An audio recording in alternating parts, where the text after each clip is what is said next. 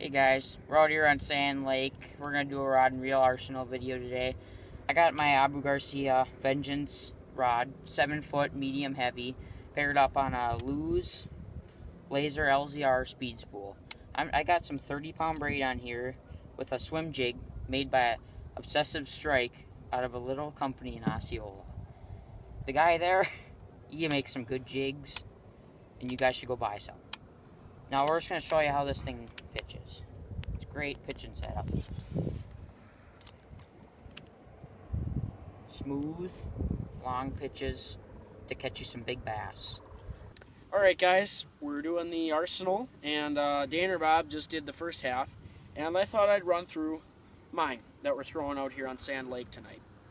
I got a graphite, seven foot, uh, medium uh, really good action. Eagle Claw, both the reel and the rod. The reel is it's an Eagle Claw Powerlite TC 2000.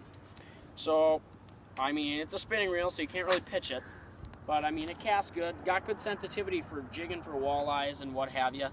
And I also use it for soft plastics, you know, finessing. Because it's got really, really good light finessing tip on there. And I'm using a 4 inch watermelon curl tail power power worm. It's uh, it's a power bait and uh, it's a watermelon with back black flake and a little sinker on there. I didn't put a bullet sinker on there, you know, different from what it usually is. But uh, just quick set her up, and I think she's gonna do good for us tonight.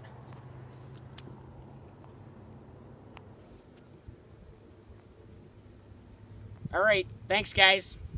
Have a good night. Scotty style, get it done. Jeez. Got probably about one and a half pounder off of the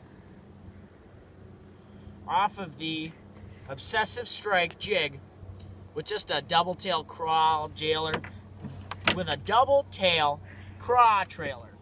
Now we got about a beautiful, it's a beautiful sand lake, October, you know, uh, one and a half pound bass. You know, he's a, he's a heavy, you know, bringing him in, they put up a good fight. Uh, and it's a good sized bass out here. Um, perfect largie. Caught on a on a uh, obsessive strike green pumpkin with a blue double tail craw trailer. What a beautiful thing, man. Hey, get it done, Scotty style. Okay, we got a fish on the obsessive strike green pumpkin jig. We're gonna land him right here. Beautiful. Nice one and a half pound Sand Lake bass. Scotty style. Get it done.